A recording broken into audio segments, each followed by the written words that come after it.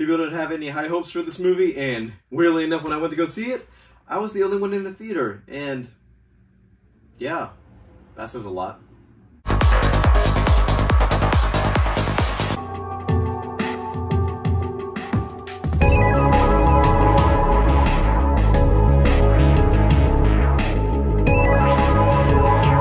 I'm not gonna front. I never played the video games. I have seen a bit of the gameplay, and for the most part, I at least looked along the cutscenes before going to see this movie, just in case to get a little background information on the characters and the world. So this movie's gonna be unbiased for the most part, but at least I'm gonna interpret this and just say, okay, this is how I see the movie. The game, I can put that aside since I don't have any actual carry on from that game. So this is my actual thoughts on the matter. So Cate Blanchett plays this character Lilith, who comes back to Pandora and meets up with a ragtag group of characters to find the key to this vault, which, if I'm being honest with you, okay, simplified story is that. Does the movie do anything better with that? No, not at all. Right out the gate, I gotta just say this. Most of the characters in this movie, they feel like, and I understand some of the fan reactions saying that some of them are a bit miscast, some of them are a bit older, and yeah, they're not wrong with them in this. I gotta agree on them majority of the actors in this movie, I like them in other stuff.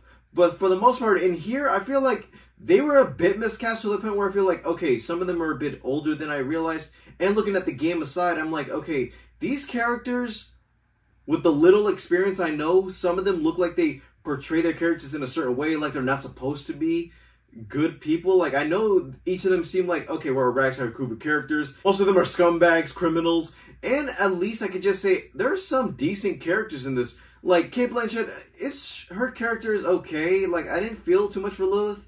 I feel like I should have since I'm like okay, she is one of the main characters in the game.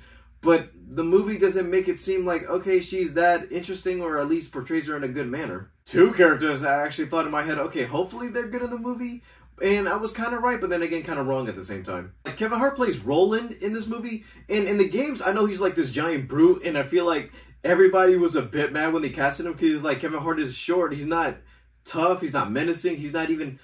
I don't even think he's the one who should have been Roland, but I feel like okay, you could have at least done something with this role. And he does, where he's the serious one. He doesn't take any jokes. He's the one who's actually taking this movie seriously.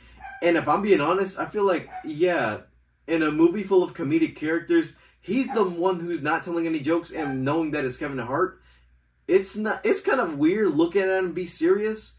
Like I look at Kevin Hart with a gun and everything, being all military action hero, and I still can't take him seriously. Jack Black at least is having fun in this movie as Claptrap. He's the one I feel like okay through all the edge the Borderlands games have. I feel like he could have done a lot more, but I feel like this movie limited itself to a PG 13 rating. And for the most part, at least the world and everything in this movie feels a bit more downscaled than what I would see in an actual video game adaptation.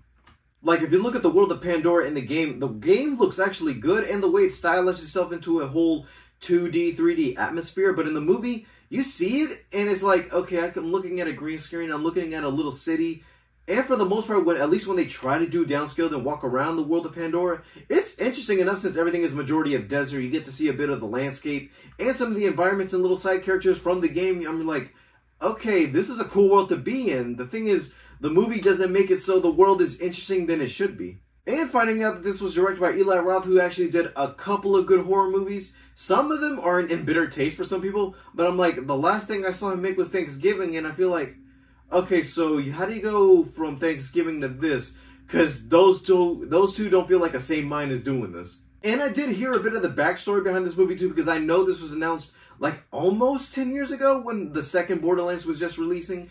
And a bit of the miscast and everything was like, okay, this movie's a bit in a production hell. We're to be holding it back for a bit. This was announced. And then they started filming. And then they had some reshoots with Tim Miller, replacement director, while Eli Roth was doing other stuff. It was announced around nine years ago. I know in the height of Borderlands 2, they thought, okay, we can actually do a video game adaptation of this since everybody was doing it at the time. It's gone through a director. It went through a couple reshoots with a different director with a style and tone. I'm like, okay, we have two different minds in this.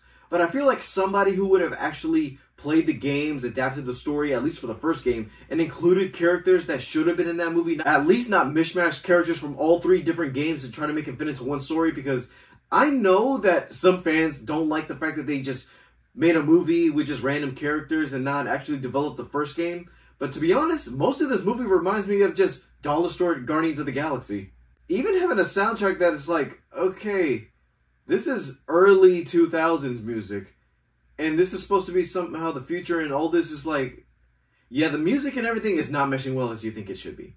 All in all, I didn't have a good time watching this, and if I'm being honest with you, I was the only one in the theater, and the TikTok kind of gave it away too. I'm like, yeah, I'm that bored.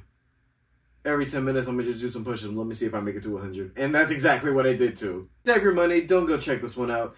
And for the most part, I feel like if this was made around the height of Borderlands 2, it would have been fine. At least be like, okay, this is one of the bad video game movies we know already know since we had a couple at the time. And after having some good video game adaptations, this feels like a big misstep back. If they can try and Resident Evil this movie, like reboot the movie or reboot this franchise into a series or anything like that from a streamer, hopefully it works out fine, or at least go the Fallout route. At least try to develop an original story, but at least also include characters from the game. That'd be fine with that, but for the most part, this movie was bad.